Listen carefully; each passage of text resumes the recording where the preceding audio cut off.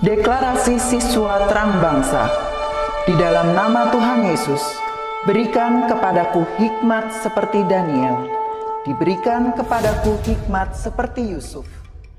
Dalam nama Tuhan Yesus, sesuai firman-Mu yang berkata, barang siapa kekurangan hikmat, hendaklah ia meminta daripada Tuhan. Di dalam nama Tuhan Yesus, tahun ini kecerdasanku akan dilipat gandakan oleh Tuhan.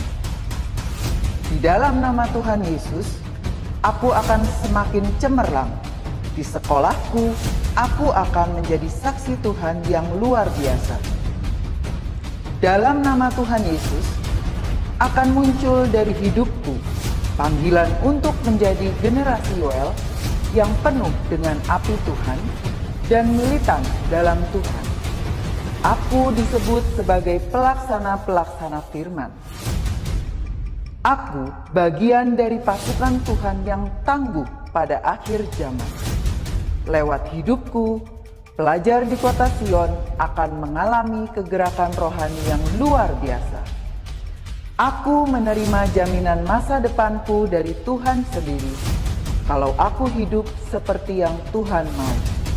Demi nama Tuhan Yesus, semua jadi dan genap. Amin, amin, amin.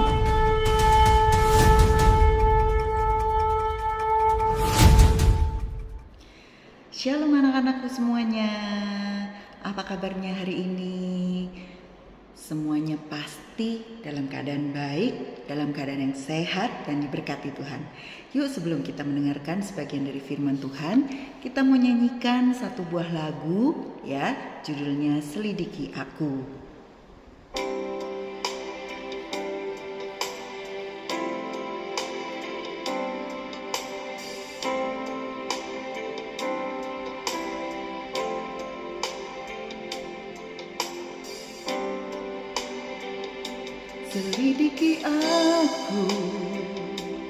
Lihat hatiku, apakah ku sungguh mengasihimu, Yesus, kau yang maha tahu dan menilai hidupku, tak ada yang tersembunyi bagimu. Telah kebaikanmu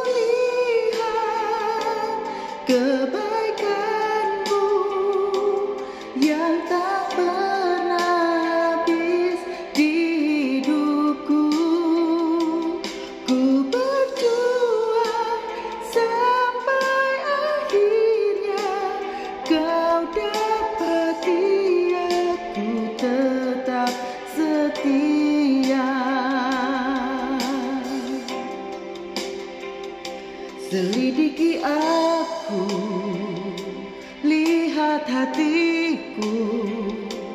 Apakah ku sungguh mengasihimu Yesus? Kau yang maha tahu dan menilai hidupku. Tak ada yang tersembunyi bagimu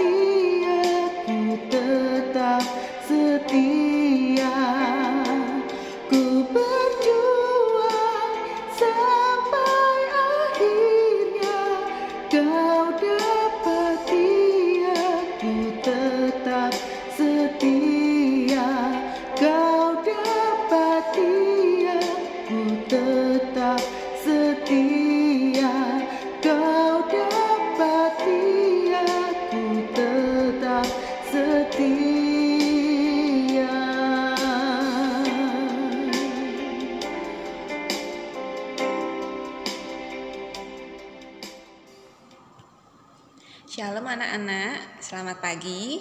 Bagaimana kabarnya hari ini? Miss harap anak-anak semua selalu dalam keadaan sehat. Sebelum anak-anak mendengarkan firman Tuhan, mari kita berdoa.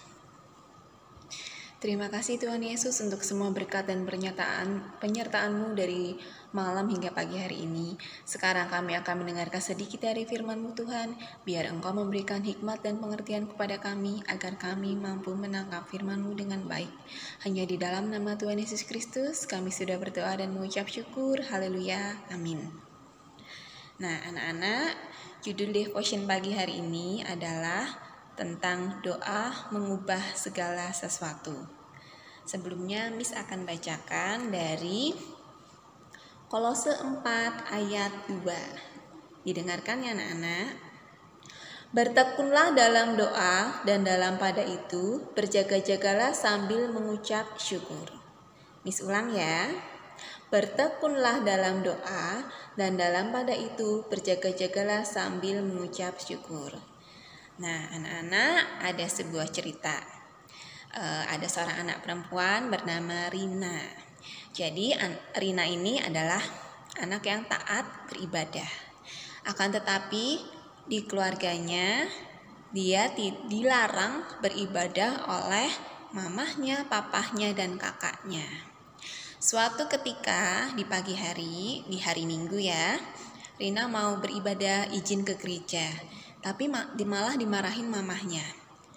Mamahnya menyuruh Rina mengerjakan pekerjaan rumah tangga atau membantu mamahnya berdagang. Tidak diizinkan ke gereja. Karena tidak di, diizinkan ke gereja, Rina pun merasa sedih anak-anak. Dia menangis. Dia meminta bantuan papahnya yang di luar kota. Tapi papahnya yang di luar kota juga sama, melarang Rina untuk ke melarang Rina ke gereja.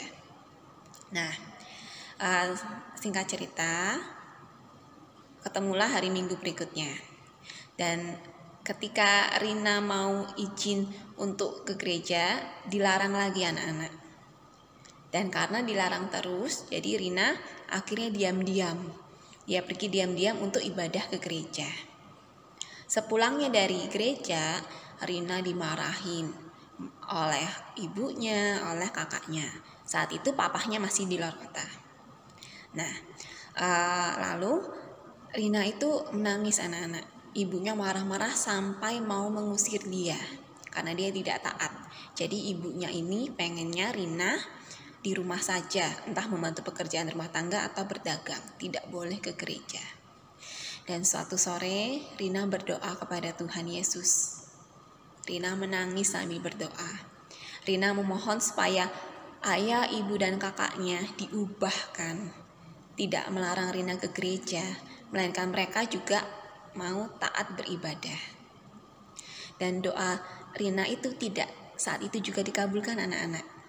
Ketemu minggu lagi sama uh, ke gereja lagi, kalau ketahuan diam-diam ya dimarahin lagi, ya mau diusir lagi.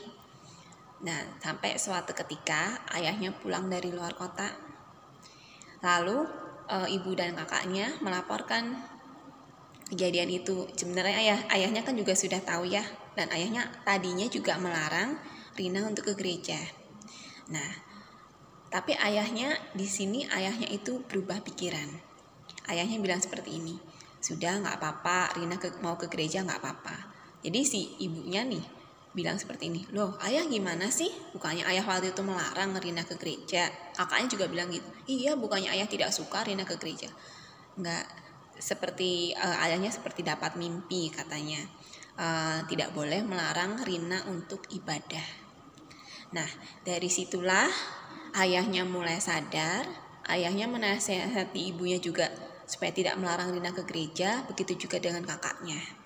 Dan akhirnya mereka semua tidak ada yang melarang Rina ke gereja dan mereka malah juga mau untuk ibadah di gereja. Jadi anak-anak uh, devotion pagi hari ini tentang doa mengubah segala sesuatu. Ya, walaupun tidak saat itu dikabulkan, tapi Tuhan memberikan waktu yang tepat seperti yang Rina alami ini. Sampai akhirnya mereka semua sekarang jadi taat beribadah setiap hari Minggu.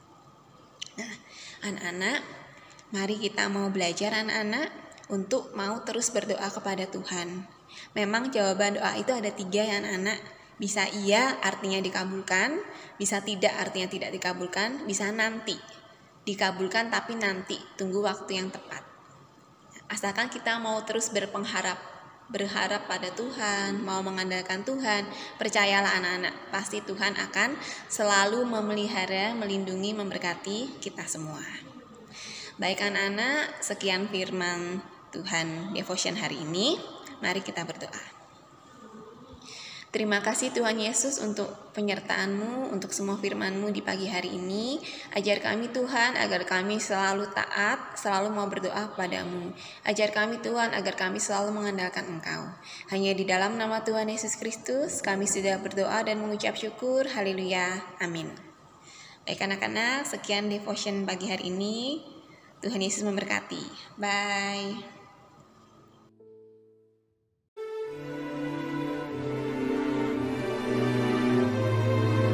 Mazmur 91 ayat 1 sampai 16. Dalam lindungan Tuhan. Orang yang duduk dalam lindungan yang maha tinggi dan bermalam dalam naungan yang maha kuasa akan berkata kepada Tuhan, tempat perlindunganku dan kubu pertahananku, Allahku yang kupercayai. Sungguh Dialah yang akan melepaskan aku dari jerat penangkap burung, dari penyakit sampar yang busuk. Dengan kepaknya, ia akan menudungi engkau. Di bawah sayapnya, engkau akan berlindung. Kesetiaannya ialah perisai dan pagar tembok. Engkau tak usah takut terhadap kedahsyatan malam, terhadap panah yang terbang di waktu siang, terhadap penyakit sampar yang berjalan di dalam gelap, terhadap penyakit menular yang mengamuk di waktu petang. Walau seribu orang rebah di sisimu dan sepuluh ribu di sebelah kananmu, tetapi itu tidak akan menimpamu. Engkau hanya menontonnya dengan matamu sendiri dan melihat pembalasan terhadap orang-orang fasik. Sebab Tuhan ialah tempat perlindunganmu yang maha tinggi telah kau buat tempat perteduhanmu. Malapetaka tidak akan menimpa kamu dan tulah tidak akan mendekat kepada kemahmu.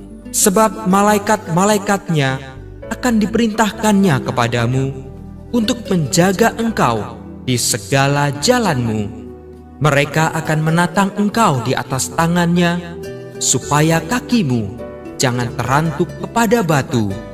Singa dan ular tedung akan kau langkahi engkau akan menginjak anak singa dan ular naga. Sungguh, hatinya melekat kepadaku, maka aku akan meluputkannya. Aku akan membentenginya, sebab ia mengenal namaku. Bila ia berseru kepadaku, aku akan menjawab. Aku akan menyertai dia dalam kesesakan.